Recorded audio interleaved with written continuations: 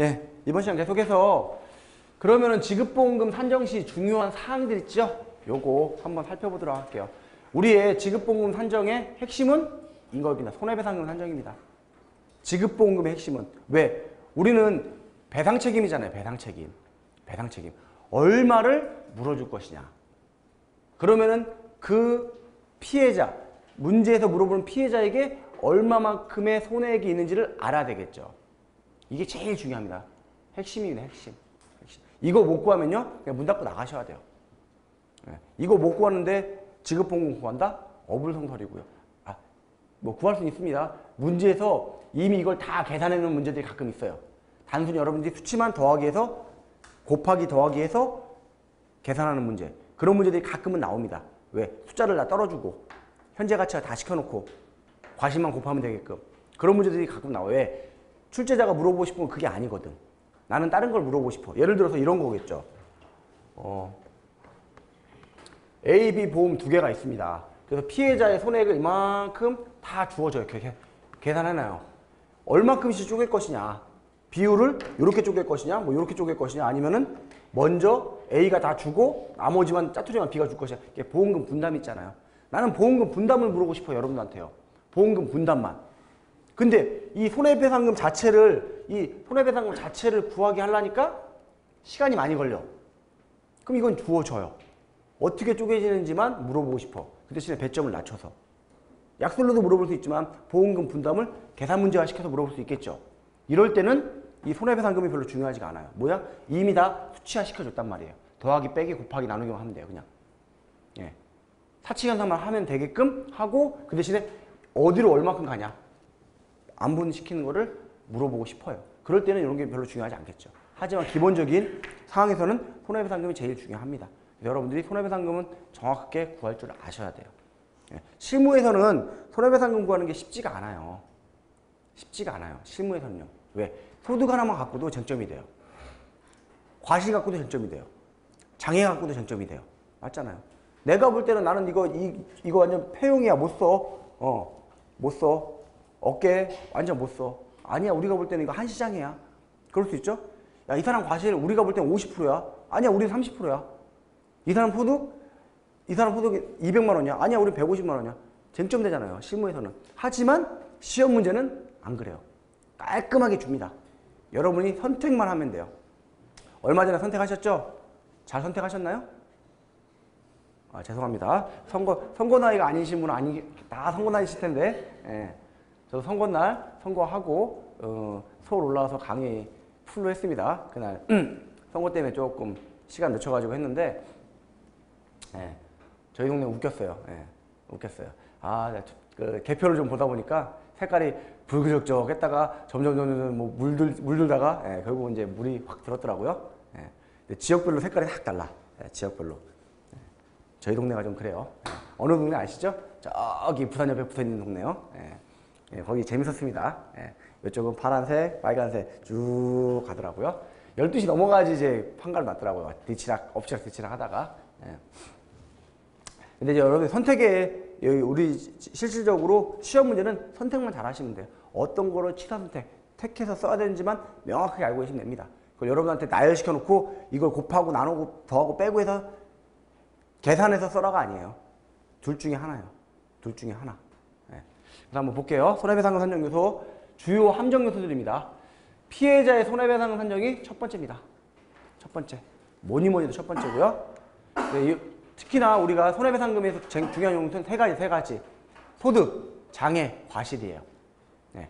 통상 소득은 일용직이냐 상용직이냐 한번 구분 먼저 하십시오. 일용직인지 상용직인지.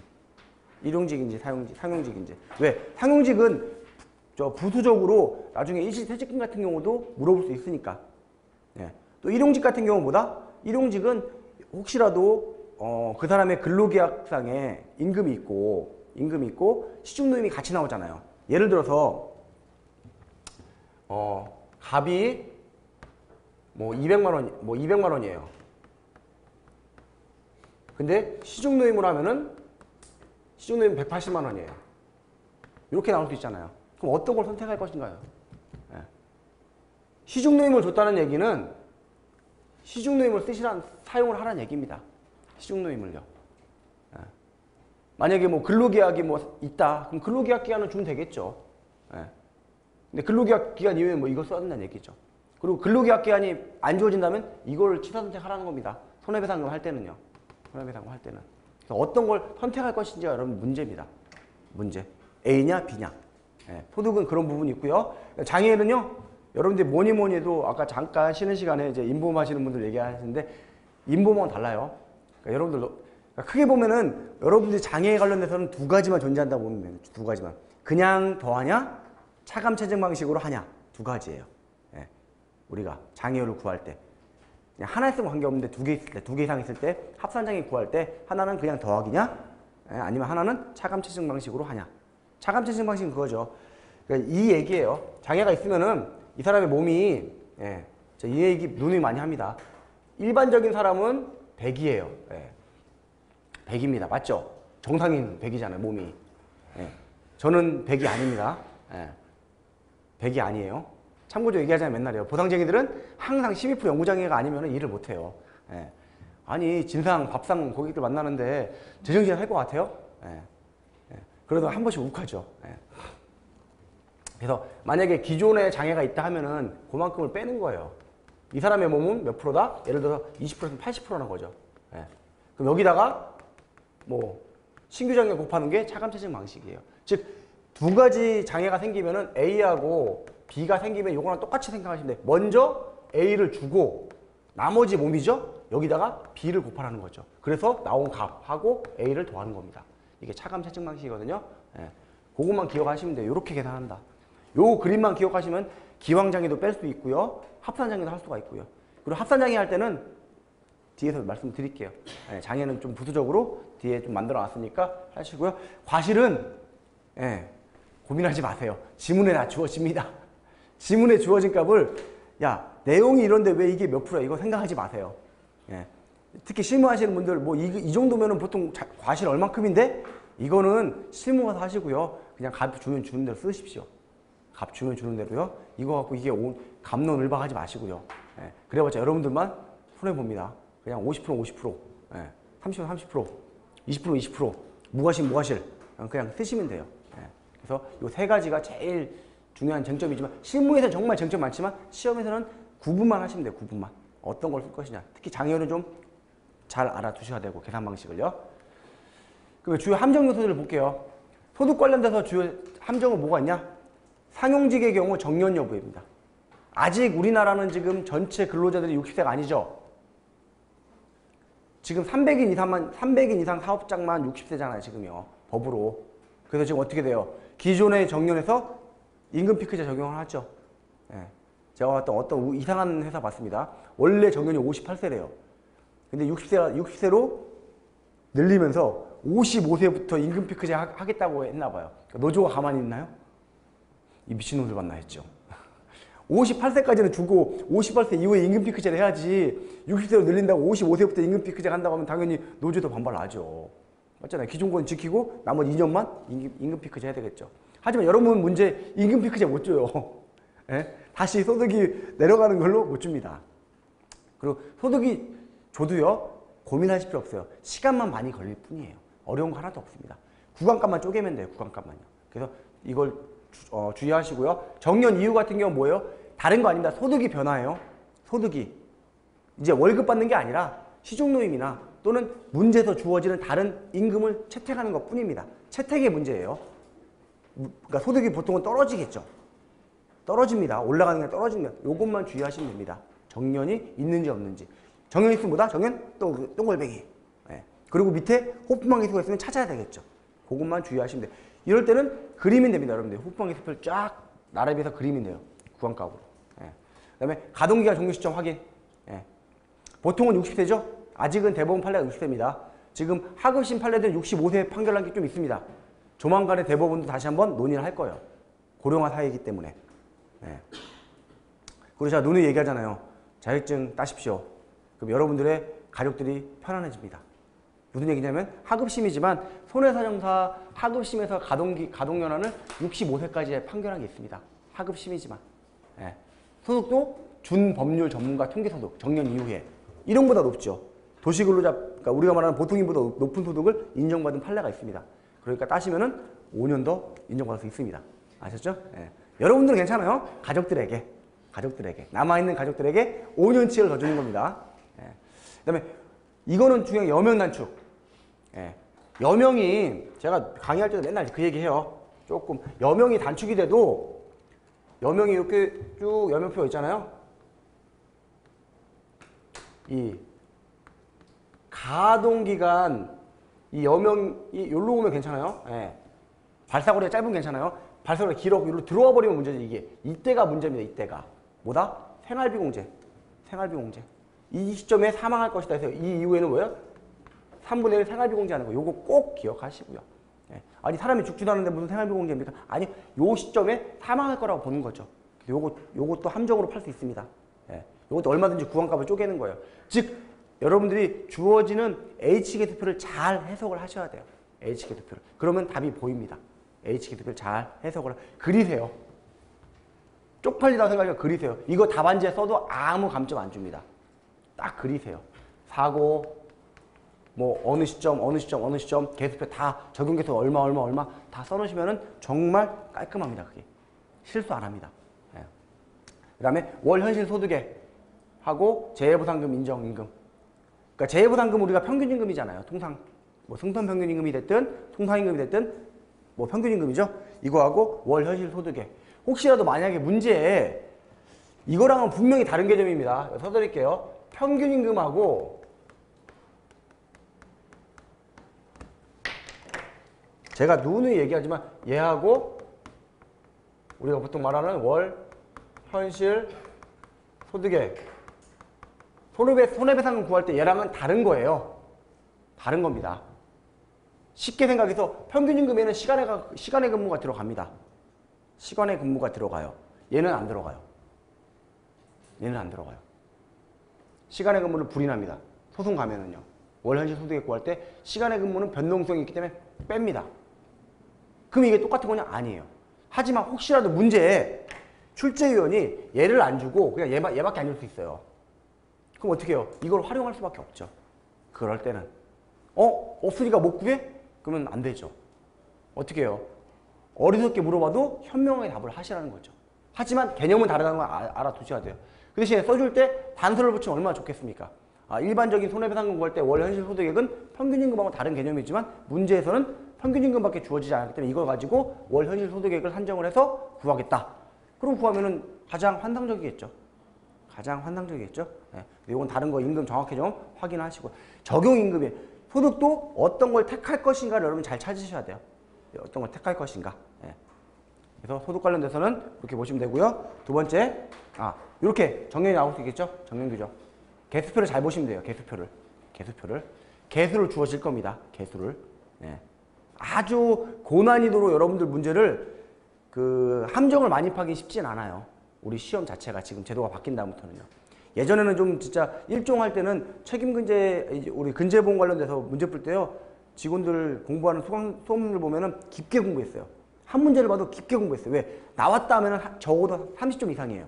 그 당시에는 계산 문제가 한 60점 나오거든요. 그러면 30점짜리가 근제보험이면은 30점은 재물보험이거든요. 그러니까 깊게 물어봤단 말이에요. 배점이 크기 때문에. 하지만 지금 어때요?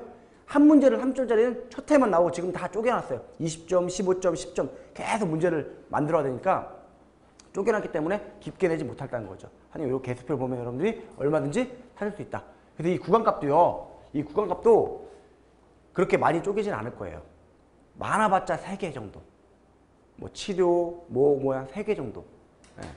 그 정도 범위가 출제 가능한 범위입니다. 3개 이상 쪼개기에는 3개 초과는 좀 힘들어요. 지금까지 출제된 거 보면 2개 정도로 쪼갠 경우도 있고요.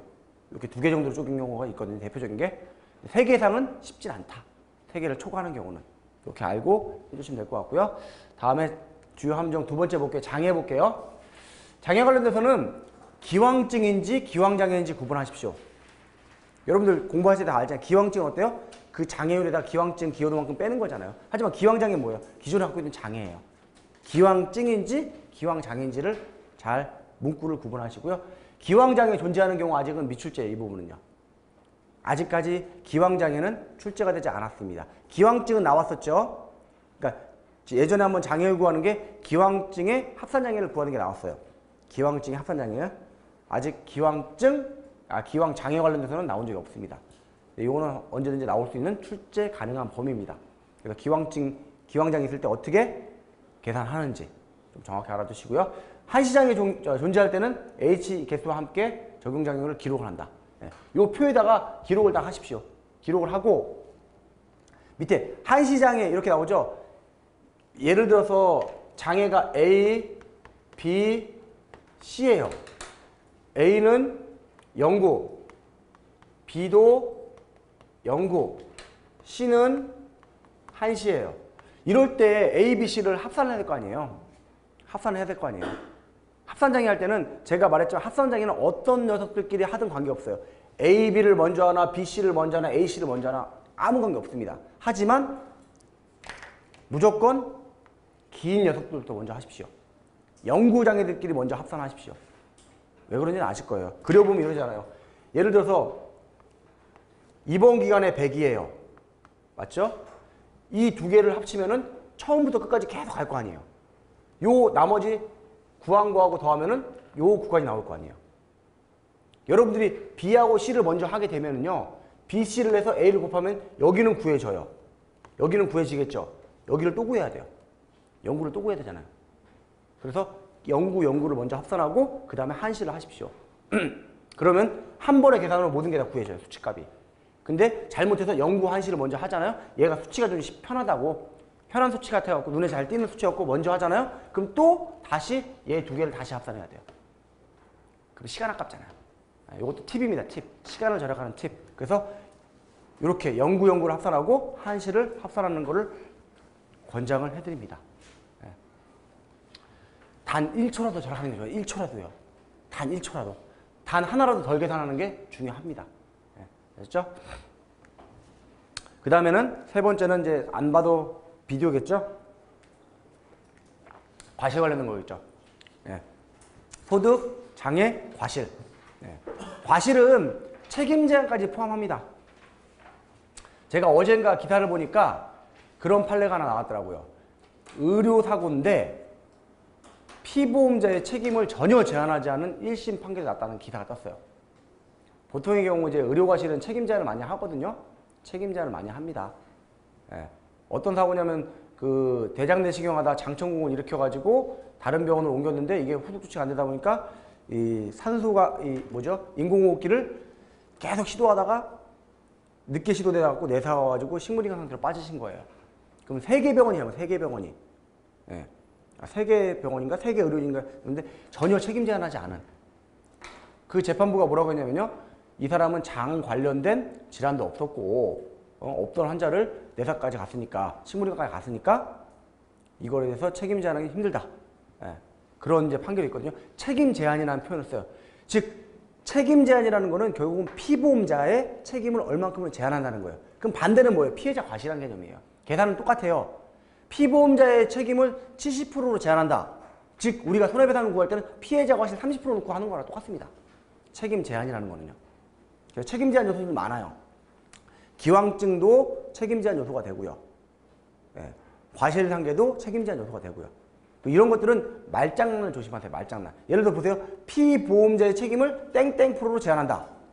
그러면 우리가 구할 때는 보통 피해자 과실들이 들어가잖아요. 아니, 다른 거는 이걸 그대로 써주면 되는데 위자료 구할 때 뭐가 들어가요? 피해자의 과실이 들어가잖아요. 맞죠? 거기다 이거 그대로 넣어주면 어떻게 돼요? 큰일 나겠죠. 조심하시라는 겁니다. 기본적인 경우에는 피보험자의 책임을 그대로 곱해주면 되는데 위자료 같은 경우는 반대로 들어가니까 그럴 땐 이제 빼서 들어간다는 거. 그거 좀 주의하시라는 겁니다. 하다 보면은요, 자기도 모르게 예를 들어 피보험자 책임이 70%라고 70, 70, 70, 70 가다가 위자료도 70 들어가요. 그럼 안 된다는 거죠. 예. 정확하게 피보험자의 피보험자의 책임 제한이 책임 비율이 들어가든지 아니면 피해자의 과실이 들어가든지. 쉽게 얘기할 때는 제가 보통 문제 풀이할 때 1 마이너스 피해자 과실로 많이 쓰는 이유가 그렇게 해놔야지 나중에 위자료 구할 때 실수를 안 한다고요. 1 마이너스 피해자 과실을 넣는 이유가 우리가 보통 그냥 1 마이너스 피해자 과실에서 몇 프로 딱 가- 간단하잖아요. 간단한데 간단한 걸 떠나서 나중에 그러다 보면 마지막에도 그대로 70이 들어가요. 예, 그런 분들도 봤어요. 제가 답 체크하다 보면요. 예, 그런 부분 때문에 그런 거니까 예, 그리고 산식이나 공식, 산식 같은 경우는 최대한 숫자를 줄이십시오. 그러니까 공통적으로 만드세요. 공통적으로. 예를 들어 위자료 같은 것도 마찬가지예요. 위자료 같은 경우도요. 위자료 구하는 한식이 뭐 예를 들어 사망 있고 장애 있잖아요. 사망 있고 장애 분리가 되잖아요. 왜 사망은 이제 사망이니까 1을 놓잖아요. 100을. 그래서 보통은 이제 두 가지 외우지 마십시오. 그냥 안에다가 장애율 넣어가지고 하나를 외우십시오. 사망은 1 들어간다. 그거 그대로 쓰- 쓰셔도 돼요. 그 공식 그대로 쓰셔도 돼요. 사망이니까 100이다. 그럼 공식 하나만 외워도 돼요. 하나만. 굳이 사망 따로 장애 따로 교재야 만들어 놨지만 실제 여러분들 외울 때는 하나만 딱 외워서 그거만 계속 바꿔주면 된다. 이렇게 하고 단순화 시키십시오. 단순화. 그래야지 실수를 안 해요. 왜 그러냐면은 어떻게 보면은 그런 게 필요 없는 거 필요 없는 것도 있긴 있지만 사망 같은 경우는 굳이 필요 없지만 그 그대로 써줘갖고 써주면은 여러분들이 나중에 다른 거 할 때도 예를 들어 장애 할 때도 실수를 안 하잖아요. 패턴을 딱 하나 만들어 놓으라는 거죠. 어. 그다음에 기여도, 기왕증, 아, 기왕증 기여도 여부 체크 이런 거 말장난 조심하라고 했죠. 말장난. 피해자에게 기왕증이 몇 프로인지 그러면 어떻게 해요? 예. 1에서 빼야 될 거 아니에요. 기왕증 비율을. 또 반대로 기왕 사고 관여도, 사고 기여도가 몇 프로인지 하면 그대로 기여도 갖고 오겠죠. 예. 자, 이런 얘기하는 제가 한심합니다. 예. 국어 시험도 아니고. 예. 근데 정말 가끔은 출제위원들이 그런 거 함정을 조금씩 파요. 예. 실수하라고. 실수를 유도시킵니다. 실수를 유도시키기 위한 거에서 여러분들이 빠져나가셔야 돼요. 빠져나가셔야 돼요. 그래서 이건 과실은 특히 쟁점 없다. 하지만 책임 제한 같은 경우에는요, 여러분들 책임 제한 요소에 대해서 계산 문제도 물어볼 수 있지만요, 이거를 약술로도 물어볼 수 있어요. 요즘 안 그래도 이제 의료 음, 의료사고 관련된 책임 제한이나 여러 가지 요소들 있잖아요. 불강력적인 요소들. 왜? 우리가 기본적인 건 과실 책임주의다 보니까 불강력적인 요소들은 피보험자한테 묻지 못합니다. 과실 책임주의 할 때 제가 그 얘기 한번 교재에 그려놨을 텐데 요 그림이요. A, B, C에서 A, B, C에서 가해자, 피해자, 불가항력적인 요소. 우리가 물어주는 건요 부분이에요, 요 부분이요. 여기. A만 물어주는 거예요. 이 B는 제가 칸을 극단적으로 그렸지, 이게 좀 작겠죠, 아주. 작겠죠. 하지만 이게 다 안 물어주는 요소라는 거죠. 네. 이걸 물어주는 거예요, 이거를요. 이거를.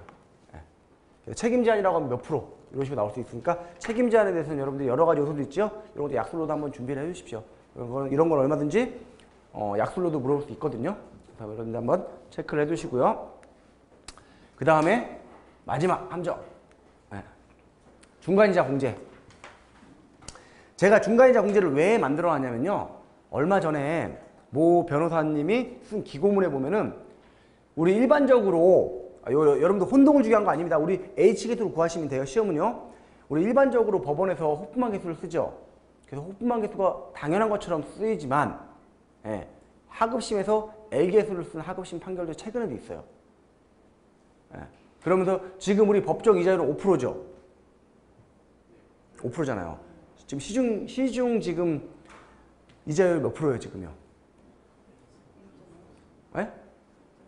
아니, 그러니까 예금 이자 몇 프로 정도 줘요? 많이 줘봤자 2%대죠, 2%대요. 아니, 내 은행에 넣어봤자 2% 받는데, 이자를 5% 빼, 중간 이자를 뺀다면 우리 5% 빼버리잖아요. 어때요? 불합리하죠? 예, 과거에는 그런 얘기 안 나왔어요. 이자율 7%, 8% 때는. 지금은 그래요. 예. 그래서 외국 같은 경우에는 이거를 좀, 그, 좀 우리랑은 달리 쓰는 데도 있다. 실효이자라는 쓰는 데도 있다라는 게 어떤 그런 기고문이 좀 올라온 데 있더라고요. 그리고 실제 지방법원 중에서 L계수를 써가지고 판결한 판결문도 있더라고요. 예. 어떻게 보면은 중간이자를 복리로 빼는 것도 나쁘진 않아요. 타당해요. 근데 문제는 이자율이 문제겠죠. 이자율이. 이자율이. 어, 이자율이 적절해야 하면은 타당하겠죠. 근데 그렇다고 우리 법정 이자를 계속 변동시킬 수는 없잖아요. 예. 그럼 여러분들 시험 볼 때 되게 골치 아프겠죠. 예. 변동시킬 수는 없는데 실, 실무에서는 그런 문제들이 좀 있어요. 그래서 이런 중간이자 공제 같은 경우도 여러분한테 약술로도 물어볼 수가 있고요. 또는 계산 문제로 물어볼 때는 이걸 왜 갖고 왔냐면은 여러분들이 조심하세요. 요거 조심해요. 요거. 현가. 현가. 우리가 주로 중간이자 공제하는 게 향후 치료비나 일실 수입, 일실 퇴직금, 개호비 이런 것들이죠. 이런 요소들이 중간이자 공제하잖아요. 예. 그럴 때 이런 중간이자 관련돼서도 약속으로도 물어볼 수 있지만 실, 실제 계산 문제에서는 그런 게 현재 가치인지 예. 잘못해갖고 현가라는 거는요 중간이자만 공제한 겁니다. 과실은 안 뺀 거예요 아직이요. 과실은 빼기 전 단계가 현 현가입니다 현가. 이자만 뺀 거잖아요 이자만. 그거 조심하세요. 현재 가치 화만 시켜 놓은 겁니다. 그 다음에 두 번째 현가란 중간이자를 공제한 수치입니다. 요거만 공제한 수치예요. 그래서 월계수표 있죠? 여러분한테 H계수표 월계수표는 누계값이 누계값. 1, 2, 3 가면 값이 늘어요. 하지만 경관연수표는 어때요? 누계값이 아니에요. 그 시점의 값이에요. 그러면 얼마든지 경관연수표를 안 주고 월계수표 값을 가지고 경관연수표를 구하라고 할 수 있습니다. 예를 들어서 어, 5년에 경관연수표를 구해야 돼요. 그러면 은 뭐다? 60개월 60개월에 대한 H계수에서 59개월 H계수 빼주면 은 그게 5년에 대한 경관연수표입니다. 이렇게 물어볼 수 있어요. 이렇게 틀어서 문제를 낼 수도 있습니다. 그러니까 혹시 한 가지만 알고 두 가지 다 모르면은 실수할 수 있으니까 그리고 요즘 강사들도 이걸 좀 얘기를 하거든요. 이걸 얘기를 해요. 이렇게 바꾸는 거. 여러분들 이건 개념적으로 알고 계시면 충분히 풀 수 있다. 그리고 중간이자 공제 관련돼서는 이런 함정들이 있으니까 여러분들이 조금 주의를 해 주셔라. 그거를 좀 부탁을 좀 드리겠습니다. 네. 그리고 이제 여기까지가 이제 지급보험 산정 시 중요한 요- 요소 사항들을 한번 짚어본 겁니다. 네. 네 번째, 예. 답안 작성 요령. 예. 한자 아시는 분 아시겠죠? 예. 저는 한자를 몰라요, 요즘요. 한자 모른다고 무시하지 마세요. 저도 어, 초등학교 때, 아, 국민학교 때 천자문 뗀 놈입니다. 근데 안 쓰니까, 음, 안 쓰니까. 저희 집 아들내미도 그 한자 몇 가지 막 초등학교 때 시켰거든요. 예. 그래서 아직까지는 이제 별도로 공부 안 해도 잘 하는 것 같아요. 울거먹기식. 예. 사골, 사골국물, 사골국물. 한번 딱 해놓으니까 오래 가요. 근데 이게 평생 가진 않아요. 평생 가진 않아야 중간에 해둬야 돼요. 안 하면 다 이제 머릿속에서 빠져나갑니다. 인간은 망각의 동물이에요. 망각의 동물. 그래서 여러분들 시험 공부 계속 반복하는 이유가 그겁니다. 망각의 동물. 나는 안 되나 봐. 머리 치지 마십시오. 원래 그래요. 원래. 예. 정말 개 중에는 그 머리가 카메라이신 분도 있어요. 카메라. 예. 머리가 그러니까 머리가 카메라 뭔지 아시죠? 딱 보기만 해도 한번 딱 찍어버리잖아요. 딱다 기억해. 예. 이런 분들은 어때요? 예. 제가 눈에 얘기하잖아요. 뒤로 딱 돌아왔고 가운데 손가락 팍 하고 잡았다 하고 예. 그런 친구들하고 본인들하고 경쟁한다고 생각하시면 안 돼요. 예. 그런 친구들은 저희 가면 뭐 각종 시험 가면 저 맨날 위에 있는 친구들 있죠? 예. 뭐 플랜카드 붙어갖고 뭐 수학교 이런 친구들은 박수 쳐주면 돼요. 예. 박수 쳐주고 우리는 뭐예요? 그 우리 평범한 사람들 내에서 거기서만 이기면 되잖아요. 평범한 사람. 어, 문 닫고만 들어가면 되지 뭐, 뭐 문을 내가 열고 들어갈 필요 없잖아요. 예. 문 열고 들어가면 좋겠죠. 예. 근데 이제 일반적인 음, 그냥 일반적인 세 자리 숫자의 IQ를 갖고 계신 분들 범위 내에서는 그냥 들어갈 수 있을 만큼 이제 저도 강의를 하는 거죠. 이제 과유 예, 말 그대로 과유불급입니다. 과유불급. 지나치면은 모자른만 못한다는 얘기예요. 제가 이거를 왜 답안 작성 요령 첫 페이지에 왜 이런 한자어를 써가지고 여러분한테 띄워드릴까요? 과유불급. 예. 여러분들 여기서 뭐 결혼하신 분도 계시고 미혼이신 분도 계실 겁니다. 예. 그다음에 또 특히나 남자분들 중에도 아이 출산을 보신 분도 계시고 안 보신 분도 계시고. 예. 그렇지만 한 가지는 공통적이에요. 애 낳고 나서 봤을 거 아니에요. 그러면 아이들이 어때요? 뭐, 그 얼굴이 얼마나요? 머리가? 예, 거의 한 40%, 30% 40% 차지하죠. 몸의 전체 길이 한 30% 차지할 것 같아요. 머리가 되게 커요. 예. 근데 점점 크면 클수록 몸은 어, 얼굴, 머리는 어때요? 잘 안 크죠. 또 어느 나이까지만 크면 아예 안 크죠. 몸은 더 크지만. 예. 우리가 보통 가분수라고 많이 얘기하잖아요. 애들은요. 머리 크고 몸통 작고. 근데 그게 평생 가는 게 아니잖아요. 우리가 외계인 같이. 예? 뭐 모르겠어요. 외계인 저도 안 봐갖고 외계인들이 정말 그렇게 생겼는지 모르겠지만 우리가 이제 보통 말하는 공상과학 소설이나 공상과학 드라마나 영화 보면은 뭐 외계인들은 머리가 좀 크고 뭐 이렇게 하잖아요. 그 머리가 클 수밖에 없을 것 같아요. 왜? 머리를 많이 쓰려면 머리가 커야 되겠죠. 뇌가 커야 되니까. 예. 예. 우리 인간의 뇌도 커졌다면서 점점요. 용량이 커지면서 생각을 많이 하고. 그렇지만 우리가 이 뇌를 많이 쓰지도 못하고 죽어요. 제대로 활용도 못하고. 어느 사람이든 간에 자기 뇌를 100% 활용한다면요. 천재, 천재. 천재 이상의 어떤 세계를 바꾸고 이제 갈 겁니다. 예. 근데 왜 이 얘기를 하면 너무 그 머리 크게 하지 말라는 거죠. 모양새 좋게. 예. 여러분들 볼 때 보통 우리 여기 뭐 여성분도 계셨고 여성 비하 발언은 아닌데 보통 우리가 여성들을 얘기할 때 뭐 8등신 얘기하잖아요. 예. 근데 가끔 어떤 아주 특출난 사람들 10등신도 있죠. 아, 근데 그런 사람은 사진으로 보면 괜찮은데 실물 보면 별로일 것 같아. 너무 얼굴 짧을 것 같아. 우리 영화 배우들이나 드라, 저기 배우들 보면 정말 드라마에서는 딱 괜찮게 보이는데 실물 보면 어때요? 대부분 다 얼굴이 작아, 작아요. 실물로 보면은 작대요. 예. 그러니까 우리가 볼 때 얼큰하다 싶은 사람들이 실물로 보면 보통 사람들이에요. 이건 약간 화면의 어떤 차이인데 제가 이 머리 얘기를 계속 하는 이유가 여러분들 머리 얘기가 아니라 답안 작성할 때 무겁게 쓰지 말라는 얘기예요. 너무 머리를 크게 쓰지 거예요. 특히 계산 문제. 계산 문제 할 때 여러분들이 잘못해갖고 범하기 심하, 범하기 쉬운 실수가 이거예요. 과요불급이에요. 네. 과요불급. 만약에 1번 문제가 있어요. 1번 문제. 1번. 배점이 20점이라고 쳐봐요. 20점. 이 20점짜리 답안지에다가 답은 과거에 30점, 100점 정도의 답을 쓴다고 생각하면 어떻게 돼요? 그럼 20점 나올까요? 아니요. 안 나와요. 퍼펙트에 썼다? 제가 뭐라고 했어요? 계산 문제는 정말 퍼펙트 했으면 80%까지 줄 수 있, 80%까지 받을 수 있습니다. 약술 문제는 정말 잘 받아봤자 70%예요. 그러면 30점짜리 정도의 양을 쓴다면 어떻게 돼요? 시간이 부족하겠죠. 이거 쓰다가 여기다 힘주다가 다른 문제 한 문제 못 쓸 수 있어요. 그럼 어떻게 돼요? 하, 그런 과오는 범하지 말자는 겁니다. 그래서 지나치면 부족한지 못하다고. 결국은 이 문제는 잘 맞았지만 다른 문제 못 풀어갖고 떨어지면 어떻게 돼요? 예. 아깝잖아요. 아는 문제인데. 그런 분들 너무 많이 봤습니다. 너무 많이 봤어요. 특히 계산 문제가 많이 나왔던 해에 그런 과오를 범한 분들을 많이 봤습니다.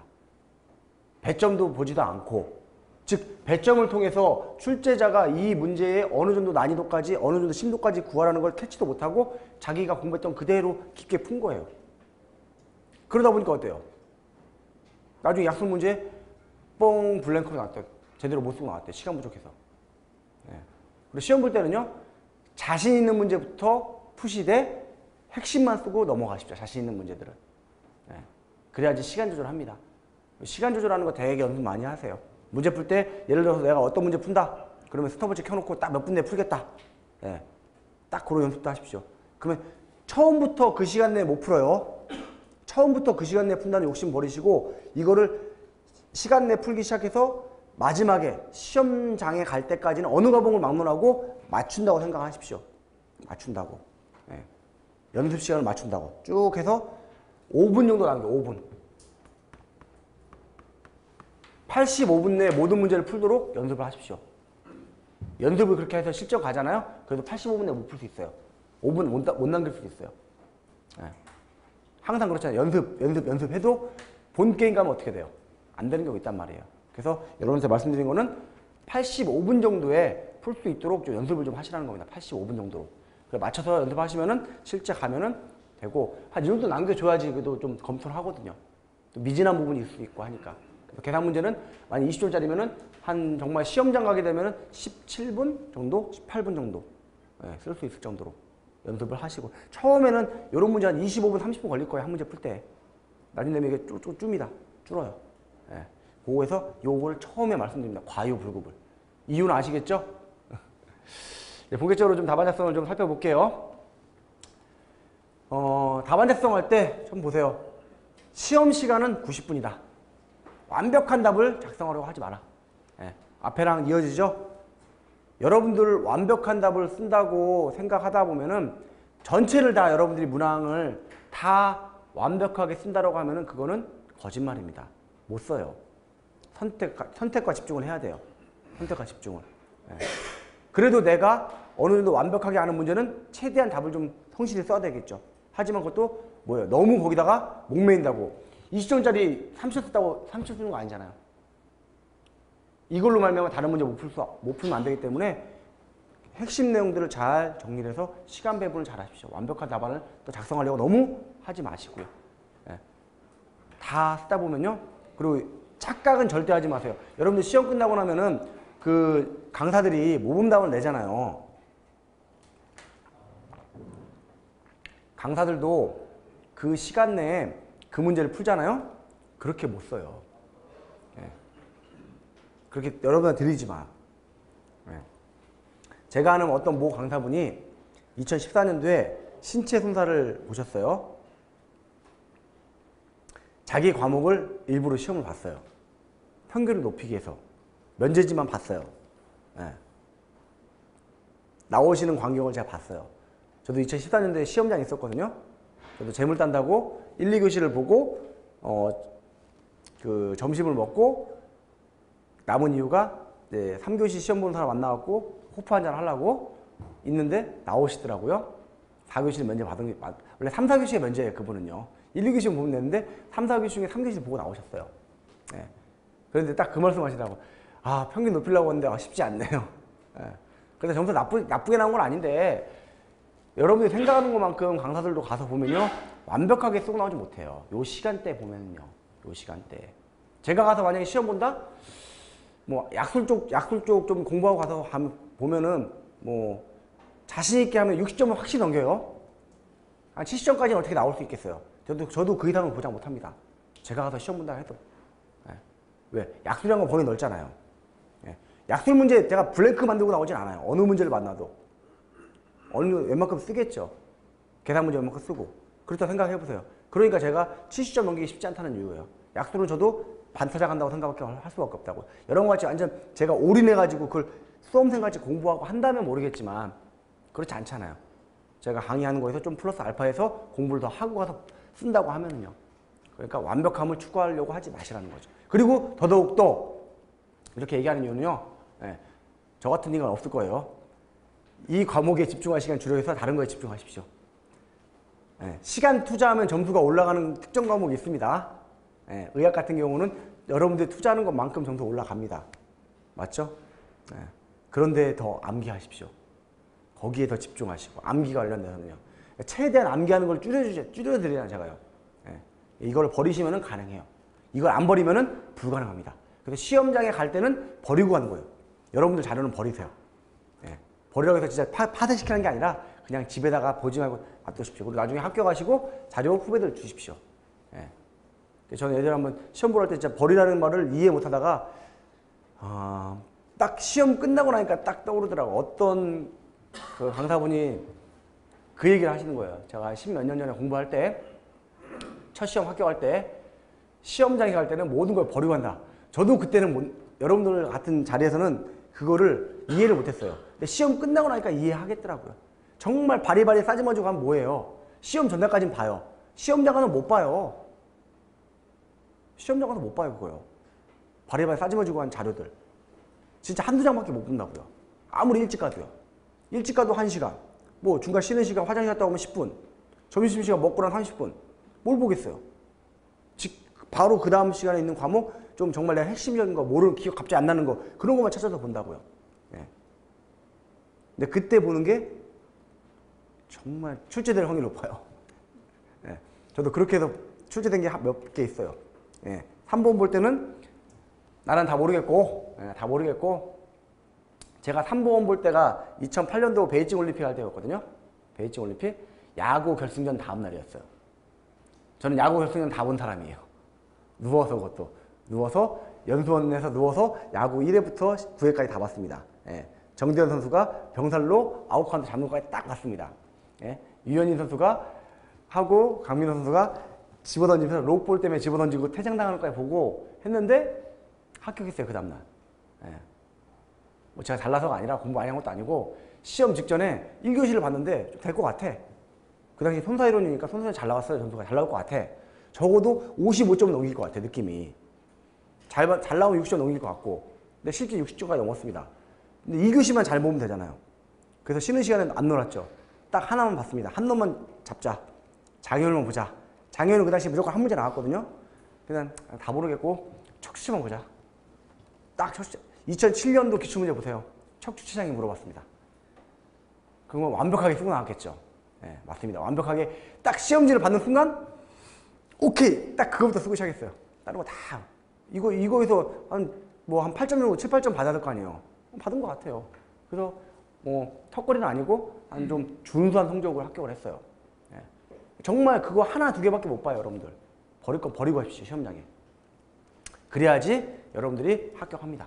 싸지머지고 하면은 힘들어서 못 가요. 아이고 가방도 무겁고. 아셨죠? 두 번째 문항은 7에서 8문제 정도예요. 지금은 거의 7문항 정도라고 보시면 돼요. 그러면 계산 문제는 3문제에서 4문제 또는 반대 약수는 4문제 정도 나왔고요. 만약에 계산이 4개 나오면 약수는 3개 정도 나오겠죠. 왜? 90분이기 때문에 7문제 넘기기 쉽지 않습니다. 과거에는 어떤 시험이든 간에 8문제까지 나온 게 있었거든요. 근데 90분을 넘어오면서, 넘어오면서부터는 대부분 7문제 정도로 정형화되고 있어요. 과목들이요. 7문제 나온다고 보시면 되고요. 약술에서는 여러분들이 정말 한 문제 정도는 보통 듣도부터 아, 듣지도 못한 이상한 게 나올 수 있습니다. 한 문제 정도는 그걸 생각하셔야 돼요. 예상하셔야 돼요. 그러면은 걱정이 되죠. 걱정하지 마세요. 내가 듣도 보도 못- 못한 문제는 옆에 사람도 똑같아요. 똑같은 조건이에요. 정말 그 문제 쓰는 사람들은 한 10%도 채 안 될 거예요. 예. 그러면 그 10%는 합격해라. 어? 그 10%는 합격해라. 여러분들 실제 경쟁이 몇 프로 정도 될 것 같아요? 4교시까지 다 버티시는 분들. 한 4대1 되면 많이 될 거예요. 4대1. 예. 4대1. 예. 그러면은 해봤자 몇 프로? 4대 1이면 한 1000분 정도? 예. 그럼 거기서 10%? 뭐 130명? 예. 너희 합격해. 난 나- 나머지 200명과 싸울게. 하면 되잖아요. 그러니까 그런 한 문제에 너무 목숨 걸 필요 없어요. 하지만 그렇다고 블랭크로 빈칸으로 놔둔 건 아니지만 그런 생각을 갖고 하셔야 돼요. 어떤 시험이든 간에요. 어떤 시험이든 간에. 그런 거 하나에 지엽적인 거 하나에 너무 목매가지고 어떤 문제는 특히 오전 과목이잖아요. 우리가요.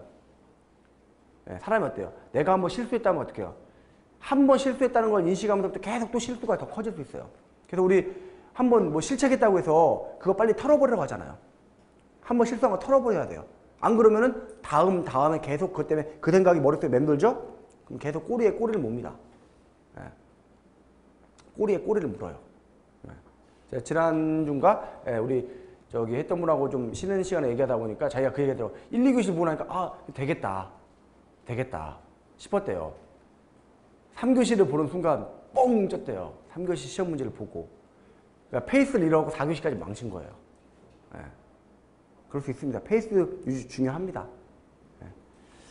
그다음에 계산 문제가 많으면 계산 수준은 높을 수가 없다 계산 문제가 많아진다는 거는 어차피 우리한테 물어볼 범위는 정해져 있어요. 정해져 있어요. 근데 문항수를 늘린다는 얘기는 각 문항에서 요구되, 요구되는 거를 조금 조금 조금 조금씩 나눴다는 것 뿐이에요. 절대로 절대로 긴장하지 마십시오. 계산 문제 많다고 하면 문제 파악만 정확하게 하면은 여러분들이 쓸 거는 줄어들어요. 네, 줄어드니까 그런 거는 버리십시오. 버리세요. 예, 부탁을 좀 드리고요.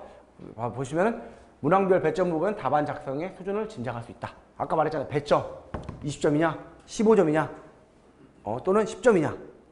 예. 이걸 보면 배점만 봐도 출제자가 물어보는 부- 양이 어느 정도라는 게 짐작이 됩니다. 예, 그래서 같이 물어본 내용과 배점을 봐서 여러분들이 작성할 밑에 또는 전제 조건을 딱 보는 순간에 뭔가가 값이 계산돼서 줄 수도 있습니다. 뭐 예를 들어 일실 수입 현가 얼마 딱 이미 다 계산해 줬어요. 그럼 거기다 과시만 곱해서 사용하면 되잖아요. 이런 식으로 여러분들이 해야 될 걸 줄여줄 거라는 거예요. 배점을 줄이는 대신에. 나는 이걸 물어보고 싶은 게 아니에요. 출제원이. 다른 걸 물어보고 싶은 거예요. 그거만 아냐 모르냐. 나머지 다른 요소들은 다 수치화 주는 거죠. 이렇게 할 수 있으니까 여러분들이 같이 보고 짐작을 해서 답안을 작성해 주시면 됩니다. 그 다음에 어렵게 느껴진다면 다른 사람도 비슷하다. 예, 요거랑 비슷하지 맥락이요? 예. 여러분들만 어렵다고 생각할 게 아니라 옆에 계신 분들도 어렵다고 생각을 합니다. 예. 그러니까 나에게만 문제가 문제가 아니에요. 옆에 사람도 문제입니다. 예. 그 가끔 보면은요 우리 시험은 별로 안 그런데 예전에 보면은 고시 있잖아요 고시들 저기 노량진이나 할때 보면은 어 고시촌에 보면은 우리가 그 이게 이무기가 있지 이무기요 용이 못 되고 한 이무기 예 이무기 얘기를 많이 합니다 공부 좀 하신 분들 알아요 강사보다 더 많이 알고 있는 수험생들이 있어요 정말 강사보다도 노량진 쪽에 보면은 근데 왜 수험생일까요? 네. 뭔가가 이유가 있어요. 찾아보면요. 근데 자기는 그걸 못 찾는 거예요. 지식은 많이 알고 있어요. 이걸 제대로 꿰지를 못하는 거예요. 근데 그런 분들은 돌고 돌고 계속 돕니다. 예. 뭐 옆에 물어보면 정말 잘 알아요. 막 물어보면 아 설명 다 해주고 다 잘해. 막상 시험 보고 떨어져요. 네, 그런 분들 빼놓고는 예, 대부분의 비슷은 비슷해요. 상대평가고 또 우리 시험 자체는 뭐예요? 상대평가잖아요. 예. 아니 음, 정확히 말하면 상대평가는 아닙니다. 정확히 말하면은 절대평가 플러스 상대평가예요. 예전에요 제 후배 한 명이 그해 조금 그 시험이 조금 쉬었어요. 조금 쉬었어요. 그러니까 자기가 그 시험 보고 와서 주변 사람 물어보니까 아 다들 막 잘 봤대. 그래서 물어봤어요. 보험개발원에 평균 60점 이상 내- 넘으면 다 합격합니까? 평균 60점 이상이 예정 인원보다 많아도 합격합니까? 했더니 개발원에서 돌아온 답은 뭔지 아세요? 평균 60점 이상은 무조건 합격입니다. 요 무조건 합격입니다. 그러니까 걱정하지 마세요. 절대평가가 될수 있어요. 천분이 60점 넘잖아요? 그럼 다 천분 합격시킵니다. 출제위원들이 채점위원들이 그렇게 안 하겠지만 예, 이론적으로는 그래요. 기본적으로 절대평가입니다. 그렇지만 절대 평가한 수치의 합격 인원이 예상 인원에 못 미칠 때는 차순위자를 계속 붙게 하는 거예요. 차순위자를. 그래서 상대평가인 겁니다. 하지만 실질적인 커트라인은 어때요? 우리 60점 미만이잖아요. 예. 그러니까 상대평가라는 얘기죠.